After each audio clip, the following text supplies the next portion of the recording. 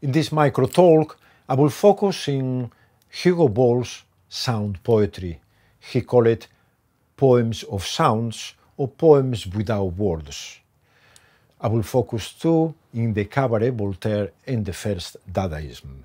Europe, at the beginning, in the first quarter of the 20th century, saw extreme events.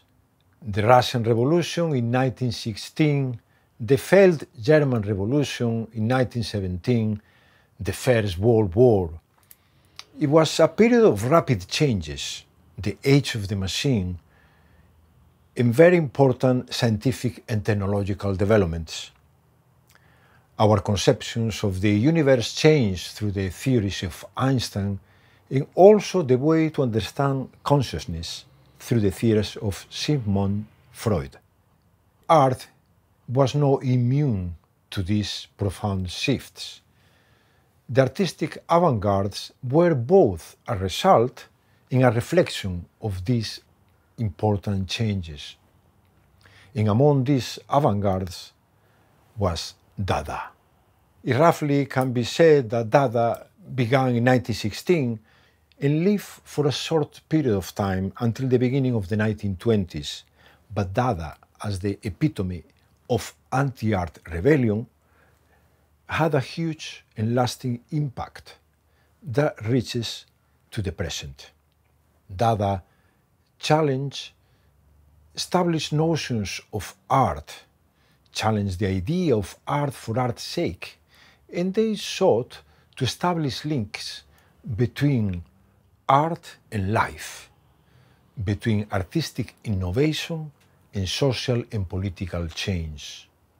Provocation was very important for Dada, and in words of Tristan Tzara, polemic was always a big part of Dada. Hugo Ball and Emmy Hennings crossed the border from Germany with fake passports in 1915. They went to Zurich, that was a city away from the war, a home to artists, pacifists, bohemians, and revolutionaries. After 10 difficult months as penniless artists surviving working in vaudeville, Hugo Ball and Emmy Hennings set up the Cabaret Voltaire. They very soon were joined by other artists, and the Cabaret Voltaire became the hub and the laboratory for the avant-garde. It was a place for poetic experimentation and for the mixing of the arts, dance, music, poetry, masks, choreography. An important part of their events it was provocation and enraging the audiences. It had pictures on the walls of Hans Arp, eh, Giacometti, and Picasso. There were recitations by the symbolists, expressionists, and futurists. And there is where Tristan Tzara recited his first simultaneous poems, helped by Janco and Richard Huelsenbeck. Simultaneous poems, they were read several tests at the same time, often in different languages. The word was collision, collage. It was impossible to understand what they say, but as Hugo Ball explained, the important thing it was to hear the human voice. There were also Bruitist uh, poems shouted out, accompanied by drum beats. There were also African inspired dances and chants, and there is where Hugo Ball recited his first phonetic poems. This uh, Zurich Dada period didn't end when the Cabaret Voltaire closed in July 1916 there were more activities, a Dada gallery, a manifesto, and a publication, a Dada magazine edited by Tristan Tzara from 1917 to the 1919. And now I'm gonna perform one of Hugo Ball's most emblematic poems that he performed in the cabaret Voltaire. Caravan.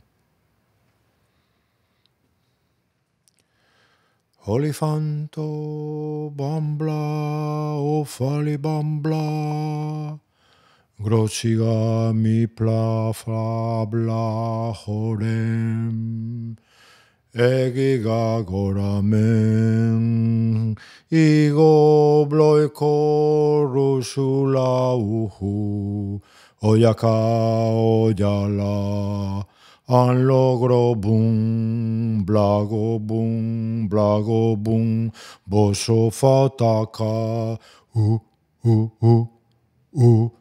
Eskampa bula busa olobo, eh tata gorem, etxige zumbada, bulu busu budu ulu subudu.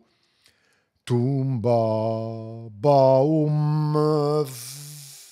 kusagau maba umev. Hugo Ball's phonetic poetry doesn't come from nowhere. Prior to go to Zurich, Hugo Ball participated of the German avant-garde. He knew artists like Paul Klee, Oscar Kokoschka, and Wassily Kandinsky. He was familiar with notions like the using of the subconscious to stimulate creativity, and he also knew of Wassily Kandinsky disposition to abstract art. He was aware of the Russian Cubo futurists' experimentation with language, and he also knew of isolated sound poems from the past, like the poems of Christian Morgenstern that he recited in the cabaret Voltaire. Ball was critical of language, a language that sustained a set of values that brought Europe to war and carnage. He said that language of power and jingoism was ravaged by journalism. He wanted to escape from the representational function of language. He said poetry should discard language in the same way that painting discarded the object. In June 1916, Hugo Ball performed his first phonetic poems in the cabaret Voltaire. And as he wrote in his diaries, Flight Out of Time, this performance was a cathartic event. He was wearing the iconic cylindric costume made of cardboard that Janco himself created and was finding very difficult the performance, trying to hold his laughter, trying to breathe, to bring out the words with difficult movements. And then suddenly he found himself adopting the cadence of incantation, invocation. He saw himself like a little boy participating in a liturgical Catholic ceremony. This performance gives us a, a, clue of some of the threads that run through Hugo Ball's performance. The fact that this performance ending, ended to be like a invocatory chant shows that Hugo Ball was very interested in ancient magical texts he was very interested in mystical thinkers. And he also talked about the returning to the alchemy of the world. Ball saw the modern artist like a kind of Gnostic priest. There was another thread, and that is the influence by Wassily Kandinsky. Kandinsky said that language had not only the aim of representing objects, but also to reflect inner sounds. The function of the poet was to manipulate these inner sounds to allow other meanings to emerge that he called vibrations. And this pure sound is thought to exercise an impact in the audience souls. What makes uh, Hugo Ball's phonetic poetry so unique, so distinct, is the fact that he invented words. There are no words that denote objects. They don't have a representational function, but somehow they are not completely abstract either. These invented words, they were conceived as reminders of other words. He says that they touch lightly in concepts and ideas without naming them. To summarize, to understand Hugo Ball's phonetic poetry, we have to understand it like a conjunction of three threads.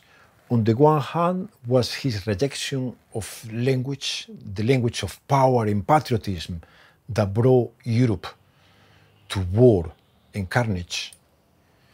The other thread is his interest in mysticism and his interest in ancient magic books.